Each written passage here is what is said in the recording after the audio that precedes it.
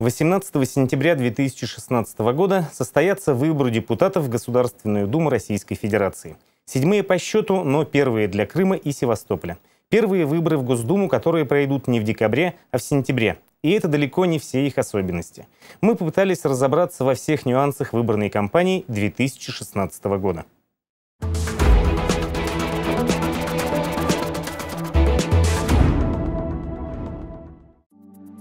Согласно указу президента России Владимира Путина, подписанного 18 июня 2016 года, выборы в Государственную Думу состоятся 18 сентября. С момента публикации указа началась избирательная кампания. В Ненецком округе старт избирательной кампании дали в региональном избиркоме, проведя специальное совещание. На нем рассмотрели ряд организационных вопросов. В том числе члены избирательной комиссии согласовали решение о количестве подписей, которыми необходимо заручиться кандидату самовыдвиженцу. В соответствии с федеральным законом о выборах депутатов Государственной Государственной Думы, если в избирательном округе проживает менее 100 тысяч избирателей, то самовыдвиженцам необходимо заручиться поддержкой не менее 3 тысяч человек. В Ненецком округе по состоянию на 1 января 2016 года зарегистрировано 33 тысячи избирателей. Соответственно, кандидату, который решился выдвинуть свою кандидатуру в порядку самовыдвижения, пришлось собирать утвержденное количество подписей. Что касается политических партий, то без сбора подписей в выборах депутатов Государственной Думы имеют право участвовать 14 из 75 зарегистрированных зарегистрированных в России партийных объединений. Кроме того, на заседании избирательной комиссии были утверждены рабочие группы. Первая – об информационных спорах, вторая рабочая группа занялась приемкой и проверкой избирательных документов. В ее состав, помимо представителей избирательной комиссии и других структур, вошли специалисты-почерковеды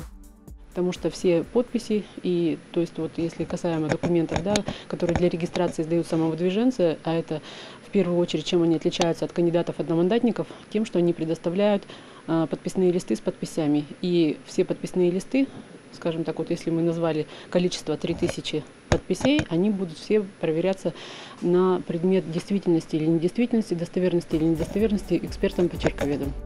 Возвращение смешанной системы формирования парламента делает предстоящие выборы особенными. Половину мест 225 из 450 в Новой Думе займут одномандатники, которые одержат победу в своих округах. Другую половину кресел поделят партии в соответствии с числом набранных голосов. Точно такая же модель была на парламентских выборах в период с 1993 по 2003 годы, а в 2007 и 2011 годах россияне голосовали только за партии. Отличительная черта нынешней думской кампании – ее высокая конкурентность возможность. За 450 мест в Госдуме поборется более 6,5 тысяч кандидатов. Конкурс на выборах таким образом составит 14,5 человека на место. Это больше, чем в прошлый раз. В 2011 году в парламент баллотировалось 3087 кандидатов. Что касается одномандатников, то суммарно по всем 225 округам зарегистрировано около 2100 кандидатов. В среднем почти 10 человек на место. Еще одно отличие стало больше партий. Участников парламентской гонки 2016 ровно в два раза больше, чем в 2000 2011 году. Тогда в стране де юре существовало всего 7 партий, и все они шли в Думу. В нынешних парламентских выборах по списку участвуют 14 партий.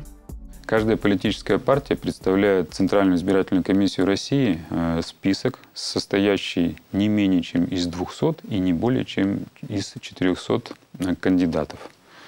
В данном списке партии должно быть отражена так называемая общефедеральная часть, она не может превышать 10 кандидатов. Может быть один кандидат, может быть максимум 10. И, соответственно, внутри списка есть уже так называемые региональные группы. Данных региональных групп не должно быть менее 35. Эти региональные группы должны охватывать всю территорию Российской Федерации без исключения. 18 сентября этого года жители Ненецкого округа выберут одного кандидата. Он будет представлять интересы нашего региона в качестве депутата Госдумы в Москве. Кандидаты по одномандатному избирательному округу могли пойти на выборы как от политических партий, так и в роли самовыдвиженцев. То есть 225 депутатов будут избраны по пропорциональной системе, то есть по партийным спискам.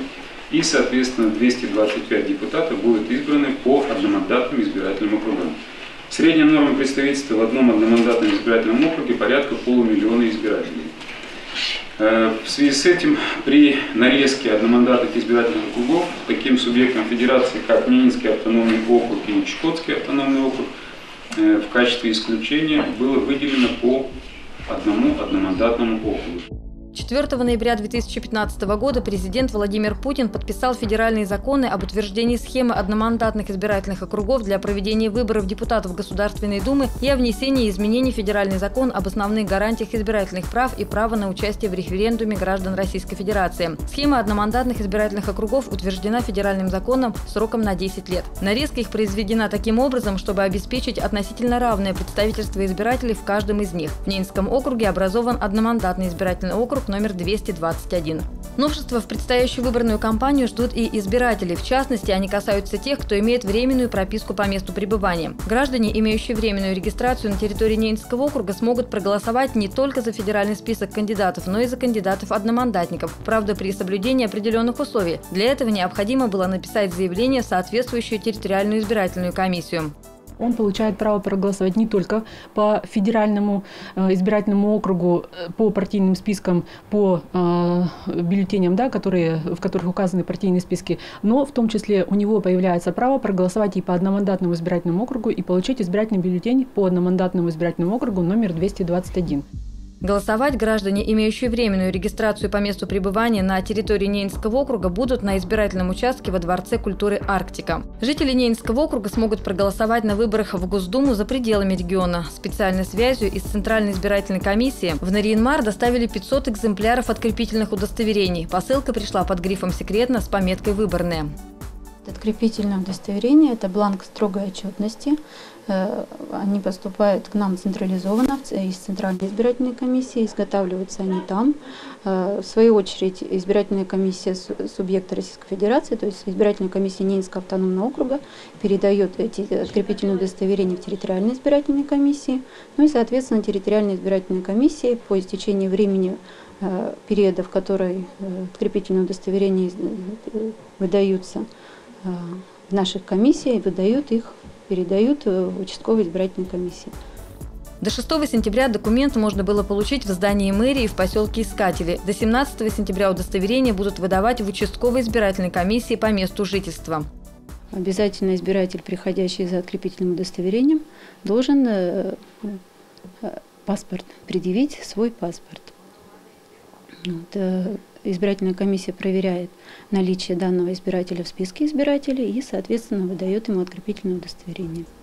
Для тех, кто проживает или работает в труднодоступных местностях, в Ненецком округе организовано досрочное голосование. В досрочном порядке голоса за кандидатов и партии отдадут свыше 5000 избирателей. Транспортные услуги по организации и проведению выборов окажет Наринмарский объединенный авиаотряд. Всего запланировано 27 вылетов. По информации избирательной комиссии Ненецкого округа, участие в голосовании примут 5 оленеводческих хозяйств и 9 семейно-родовых общин, которые представили координаты кочующих бригад. График вылетов к нефтяникам сформирован с учетом перевахтовки работников. Перевахтовка основная на 15 э, сентября запланирована, поэтому у нас основная масса полетов э, будет проходить 16-17 сентября по нефтяникам. Потому что те, вахта сменилась, они улетают домой, то есть дома спокойно голосуют, а уже на месторождении те, кто залетели, вот и будут 18 сентября находиться на нефтепромысле. Члены участковых избирательных комиссий побывают на 23 месторождениях, в том числе на морской ледостойкой стационарной платформе «Приразломная». Первыми участие в досрочном голосовании приняли нефтяники, работающие на Восточно-Сартаюзском месторождении. Для проведения голосования выбрали одну из комнат в производственном помещении. Перед началом проведения всех необходимых организационных процедур. Мы его закрываем. Будем апломбировать.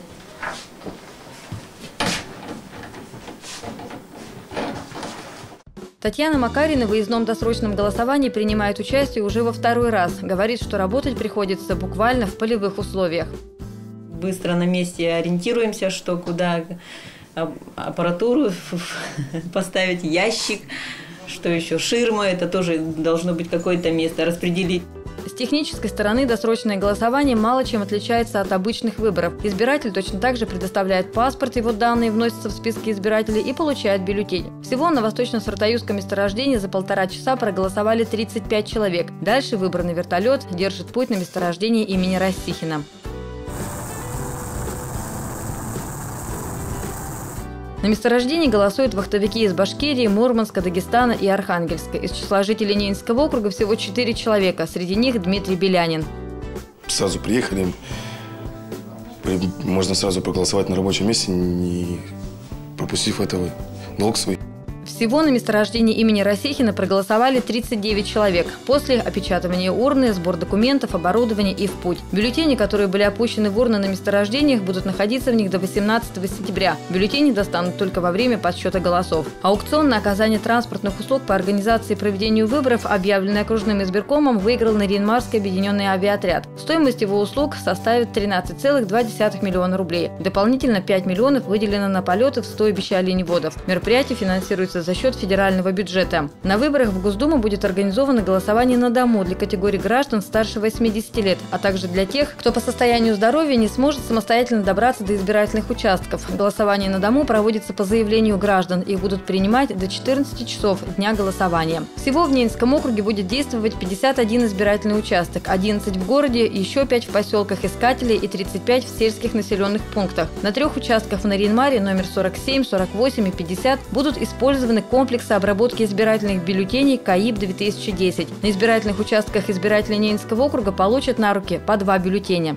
Избирательные бюллетени выглядят у нас э, следующим образом. Один избирательный бюллетень э, на избирательных участках избиратели получат по э, федеральному избирательному округу, где будут указаны наименования партий, эмблемы и лица, которые входят в общефедеральную часть списка, а также будет указана региональная группа, в которую территориально входит Ненецкий автономный округ, и фамилии значит, представителей данной, данной партии. Отличие избирательного бюллетеня по одномандатному избирательному округу округу состоит в том, что здесь будет в алфавитном порядке располагаться э, фамилии, имена и отчества кандидатов, которые зарегистрированы по одномандатному избирательному округу номер 221. Вот таким образом он выглядит. Здесь располагаются сведения об кандидате, кратко его биографические данные, положение, которое он занимает, э, место работы, для того, чтобы э, избиратель смог определиться со своим выбором. На выборах в Государственную Думу будут работать наблюдатели. Внесенные в федеральный закон поправки ограничивают число наблюдателей, не более двух, которых может назначить в каждую избирательную комиссию зарегистрированный кандидат или политическая партия. Их список с указанием фамилии, имени и отчества каждого наблюдателя, адреса места жителя, номера избирательного участка и наименования комиссии подается в соответствующую избирательную комиссию не позднее, чем за три дня до дня голосования. Одно лицо может быть назначено наблюдателем только в одну комиссию. Наблюдатели вправе осуществлять фото и видеосъемку. В случае случае нарушения наблюдателем избирательного законодательства его удаление из помещения для голосования возможно только по решению суда. Кроме того, федеральный закон предусматривает, что кандидат или избирательное объединение вправе прекращать полномочия назначенного ими члена комиссии с правом совещательного голоса и назначать нового в ту же комиссию не более пяти раз. В единый день голосования задействует более 140 сотрудников окружной полиции. Ведомство будет обеспечивать безопасность проведения выборов и осуществлять контроль за соблюдением общественного порядка. Также помощь будут оказывать сотрудники добровольных народных народных дружин и частных охранных организаций. Сотрудники УМВД России по Ненецкому округу в период проведения выборов будут нести службу в усиленном режиме. В день голосования на каждом избирательном участке, всего их более 50, полицейским будет проводиться досмотр граждан металлоискателями. Также в единый день голосования без внимания полицейских не останутся населенные пункты. В тех селах, где нет участковых либо сотрудников полиции, будут откомандированы э, с управления сотрудники Таких сел у нас порядка 20 на сегодняшний день. Вот. Но в целом проведению выборов управление внутренних дел по Ненецкому автономному готово. Непосредственно перед проведением выборов все избирательные участки будут еще раз обследованы на предмет отсутствия взрывчатых веществ, взрывных устройств и других подозрительных предметов. С этого момента начнется непрерывная полицейская охрана всех избирательных участков. Напомню, что единый день голосования пройдет 18 сентября 2016 года.